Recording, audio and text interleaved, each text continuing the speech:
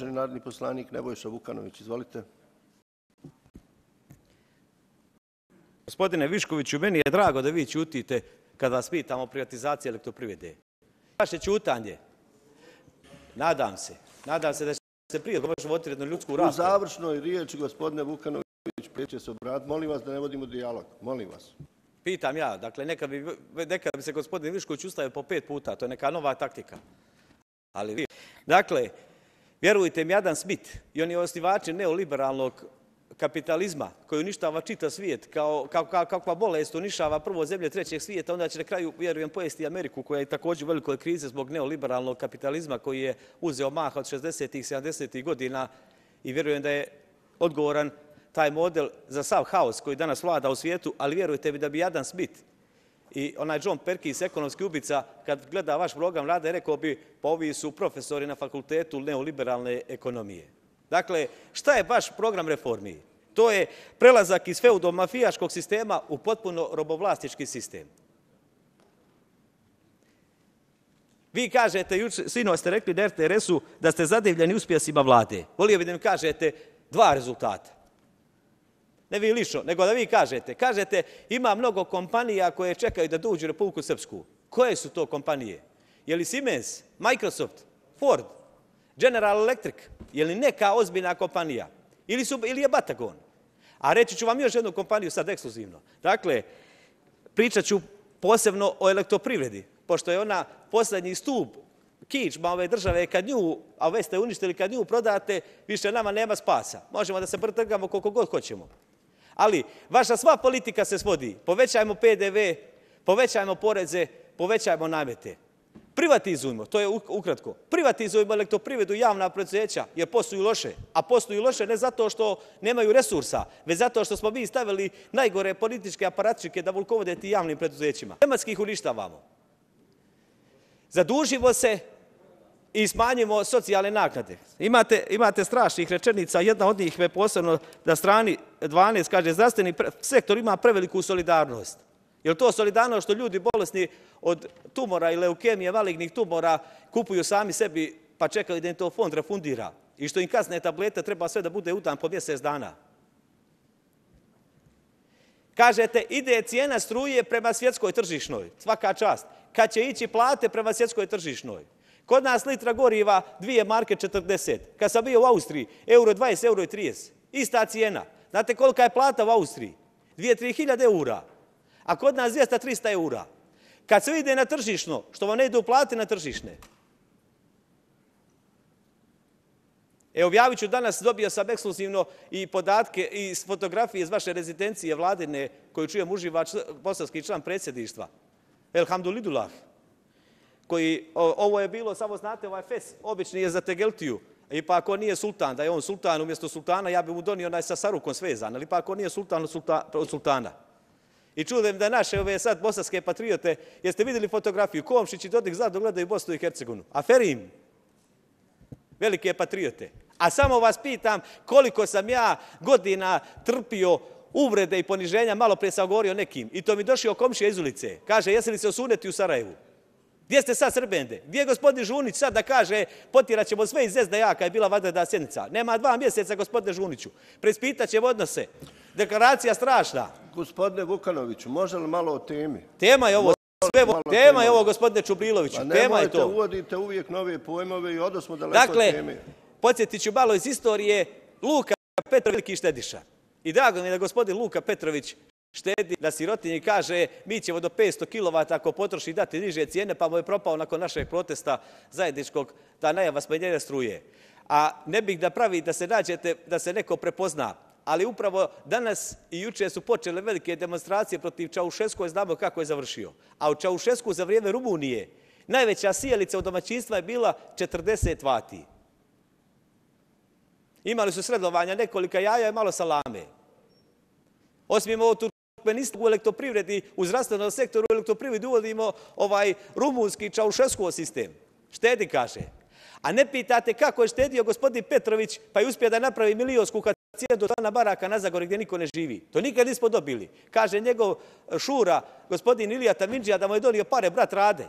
A meni je drago da braća sarađuju, trebaju braća da se paze. Jeste vidjeli kako Rade Petrović saslušava ljude po Čukarici, kako prijeti za Gospodine SNS? Vukanović, molim vas, nemojte dozvoliti da vas opomnijem i da vam oduzmem riječ. Molim Dakle, moram vam objasniti, gospodine Viškoviću, o stranim investicijama u elektroprivredu. Mislim da je jedna od dobrih stranih investicija koju sam istražio, moram je samo naći trenutak, radi se, prema mojim saznanjima, vi odgovorite da li je to tačno. Radi se o izgradnji hidroelektrane koju gradi direktor elektrodistribucije Pale, gospodin Ljubomir Mrda, koji se formalno ne vodi kao vlasnik, ali koristi svu mehanizaciju i resurse elektrodistribucije Pale da bi napravio sebi hidrocentralu.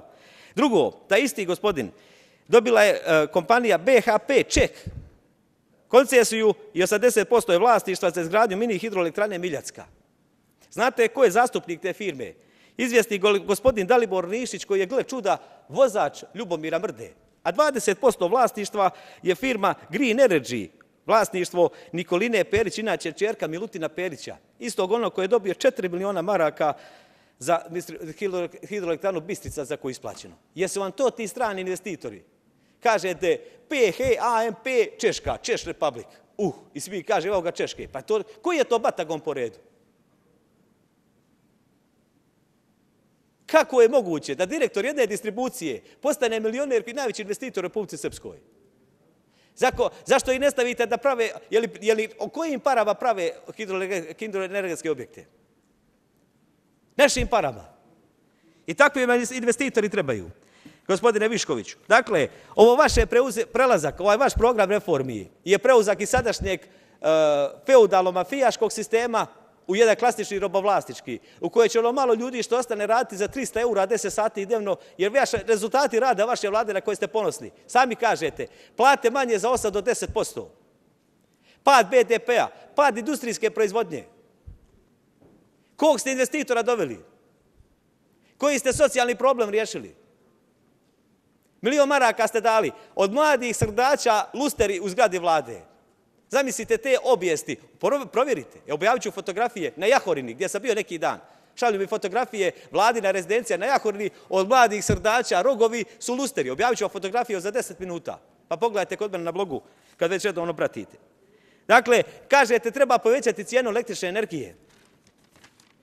Šta vam znači ovo restrukturiranje? Jeste li sistematski razarati elektroprivredu? U jednom podatku govorite, moram vam naći sad, kažete, oko če, če, a, elektroprivreda proizvodi 46% je višak, više nego što mi potrošimo. Kako je moguće elektroprivreda proizvodi duplo više nego što troši građan Republike Srpske, a da posluje negativno?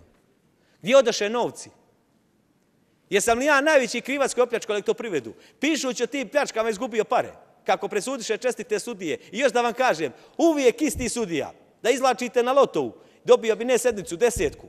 Uvijek osnovni sud, pa to je nemoguće. Osnovni sud, Draga Puzić, Vrhovni sud, svaki put čestita milosrdna pravednica Vesna, po, po, što je muž šef futbe, Vesna Ivković i ovaj što mu je brat, što mu je sin Ubica, gospodin Pikula. Svako vijeće isto.